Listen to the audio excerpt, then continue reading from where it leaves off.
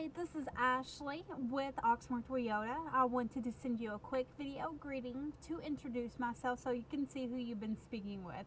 Thank you for working with me the last few days about your interest in a new 2015 Sequoia.